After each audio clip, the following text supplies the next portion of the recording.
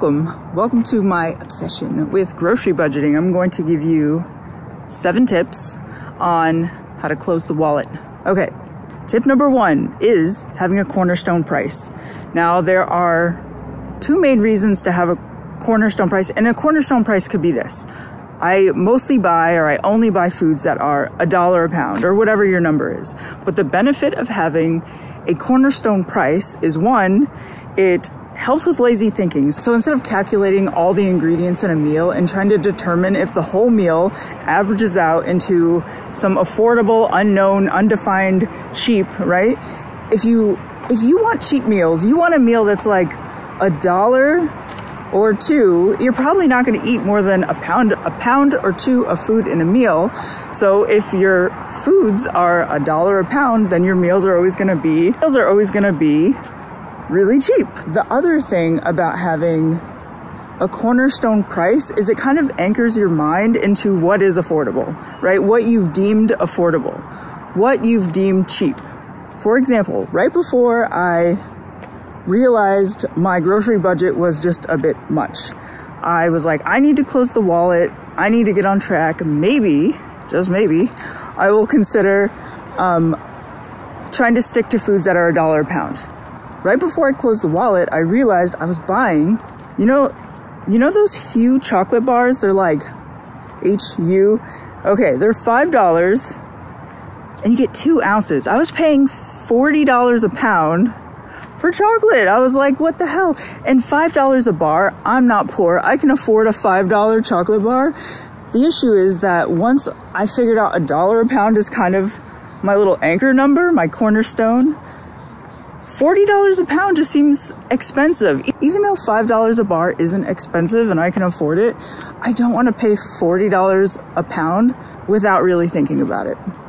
Tip number two, grocery pickup. I'm not going to say a lot about grocery pickup. I feel like everybody and their mom knows about grocery pickup, but I'm just going to say a couple things. If you have a budget, let's say your budget is $75, right? And you put everything on the app, right? You're on the Walmart app, you're on the Aldi app, you're filling your cart, your virtual cart, and you go to checkout and you see that the total says $100, you gotta move some shit. I mean, it's that simple. It, it, I don't know how you check out at a regular grocery store in real life, right? Fill, fill up your cart, roll to the front, hope that uh, a little Hail Mary, maybe I'll stay within budget or whatever you know all the benefits of grocery pickup. Someone's filling the shit in your car. You don't have to walk around the grocery store. You don't have to take time out of your hard day. So out of the endless benefits of grocery pickup, not having to go to the grocery store, not having to stand in line, not having to compare prices like all throughout the aisle, it's just easier to, it's just easier to throw everything in the app and just don't check out. If the price is too high, don't check out. That there you go. You're sticking to your budget. You're welcome. Tip number two. Tip tip number two. Tip number two. Tip number two. Tip number two. Change your preferences. I don't know if this one is obvious or dumb, but and I'm not saying change all your preferences and I'm not saying change them all fast. I'm not saying any of that. I'm just saying if you prefer cheaper foods magic, right? Your budget will just be in a better place as a result. Just, you can change your preferences. Let me tell you a story. In the 90s, when people thought differently about food, and they really did, my dad started eating healthy. And I remember at the time feeling like, who wants to eat wholesome? Who wants to eat good? I don't know. And it just felt, it felt so extreme. But then years later, my values changed, which eventually my behavior changed, and then I started eating healthy. I went from one end of the spectrum to the other. You, you can change. Want to hear what I'm barely working on? Okay, for example, a packet of great value oatmeal, already sweetened, already flavored, right? Jazzed up with all the, all the good stuff, is 16 cents a serving. 16 cents for a packet. Guess who doesn't really, I don't know. I'm not a huge oatmeal person. I don't really find it filling. I really, I don't really work on it very much. So it's silly kind of saying like, It never leaves my mind. 16 cents a serving. Man, if that was my fucking, if I made best friends with like a little pack of oatmeal, that could change my life. Do I have any tips on what your preferences should be? No, that sounds stupid. Find your own preferences, figure it out, but just be open, open to change. Another thing I wanted to say about changing your preferences is that it's frustrating when I don't want to change anything, but yet I want a different result. You can find cheaper preferences. They don't have to be all your preferences. You don't only have to have the poorest man's taste, but it's just to say, change your preferences. Tip number four, do not have a plan. Have a system. There are four types of days. There are ideal days where you have all the time and all the energy. Woo! There are busy days where you have no time and all the energy. There are lazy days where you have no energy, but you have a lot of time. And then there are days that are hell in a handbasket days, right? You have no time, no energy, you've got nothing to give. You got nothing, okay? Having a plan is like saying every day is ideal. Every day I shall churn butter in the field for eight hours to save 50 cents. But by having a system, you can get ahead. You can troubleshoot. So every day is not the same. Planning for an ideal day. Hang on a second. Let me cut in. Who am I cutting in front of? I'm the only one talking. I'm talking to me. I'm cutting in front of that train of thought. And this is really the heart of this recipe series is that I don't make recipes for ideal days. None of my recipes, I don't think I have ideal days. That's just not my life. I never have a day where I have all the time and all the energy. It's just not my life. So in this video series, I have four recipe videos. One video is $1 meals in under 10 minutes, okay? Another video is $2 meals in the crock pot. And the third video is $3 or less meals. And these are meals that are really for days where you have nothing to give. There's no chopping, no boiling, you don't need your cutting board. That video where it's the absolute laziest recipes, just it absolutely changed my life. These are definitely the recipes I really need. So don't have a plan, have a system. Tip number five. Tip number five is supportive of having a system. Tip number five is shelf stable foods. Shelf stable foods, whether it's in the freezer or the pantry, they are hella cheap, right? Pasta, rice, frozen veggies. Most of these things are actually a dollar a pound or less if you get like the cheapest brand possible. And shelf stable foods are perfect when you're on a budget because you can mix and match ingredients, make a random last minute meal, and if for whatever reason you don't want to make a meal, for example, I don't want to make a meal. I always do this. I think I want to make a meal. I want to cook something. I need a delicious dish. And then the time comes and I just do not follow through. I do this all the time.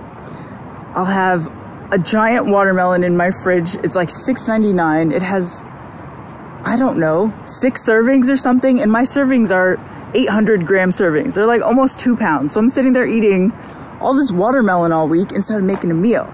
But having shelf stable foods, I just float my groceries. So every week I just like rebuy the watermelon and all my groceries last. So if you have a plan to, unless you're Mary Poppins and you need to like make an eight course meal for like 10 people three times a day, every day, like have some shelf stable foods. So that way you can float your groceries when you kind of end up snacking on some shit instead of making a meal. Is this obvious? This might be obvious. I feel like that. Is that obvious? Tip number six, when you first get started, you really don't need like 30 recipes like in your mind, right? To feel confident, to feel good, to feel like you're on track. You really need like five recipes just, just to start.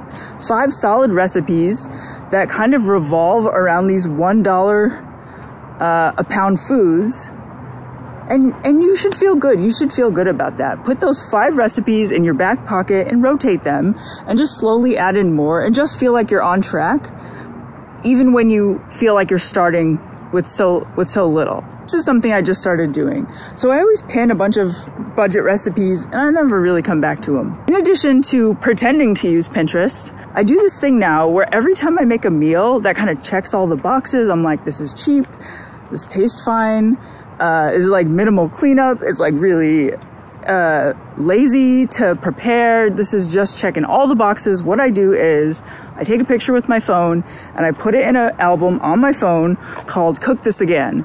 And there's something, um, there's something more practical about seeing pictures on my phone of food that I made in my kitchen in a bowl that I own that just ignites some muscle memory and that makes my brain go like chop chop let's get in the kitchen. Tip number seven. This is the final tip. What do i have to say? I've said so much already. Tip number seven is compliance. All the tips in the world all the go to this grocery store buy this item blah blah blah. All the good ideas do not matter if you are not complying, obviously. You have to look objectively at how you're doing. You don't have to give 100%, but you can just look and see, I'm doing good enough. And if you are doing good enough, you have to pat yourself on the back for real. However, if you're not really doing a good enough job to pat yourself on the back, then you have to get ahead of the, of, of the problems. And instead of thinking, I'm lazy or I'm failing or I'm not good at this, it's better to judge the circumstance than your character. For example, a friend of mine, she travels for work. It's random, so she can't predict when she's going out of town, but it's frequent enough that this issue has come up for her more than once.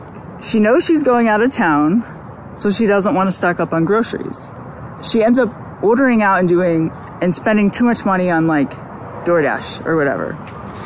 So she realized, damn, dude, I'm spending all this money. I need to figure this out. Sometimes the solutions aren't obviously logical. A lot of times the problems are psychological or emotional. They're not necessarily rational. So don't just, so, so look at all facets of this scenario. I realized a, a big reason why I wasn't complying for so long was that I pretty much was only planning for ideal days.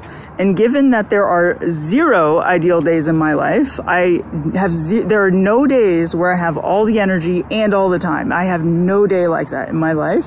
It's like, no wonder I wasn't complying. No wonder um, I just couldn't get ahead. It made a big difference. Those were my tips. I want to say one more thing. Obviously, thank you very much for listening to me ramble. I really encourage everyone to watch the recipe series because these were just my thoughts and feelings. The real tactical and practical part of the series will be the recipes. And a lot of the recipes can be modified to be even cheaper if you were really inspired. But they're pretty damn cheap. They're big ass portions. You will see none of that split a box of pasta between you and your 10 best friends. The comments are turned on. If you're obsessed with budgets, like me? Is this something you've kind of come back to? You hadn't really most people don't master stuff the first time. I'm really curious. What I want to know is what's worked for you. But more importantly, or as important, what hasn't worked for you? What are some things you've tried that you're like, this should work, and you keep trying it and it just doesn't come together? What are some things that you've done along your grocery budgeting journey um, that that that have have and have not worked. I'm very curious. Bye. Bye. bye bye bye bye bye. All right. Goodbye.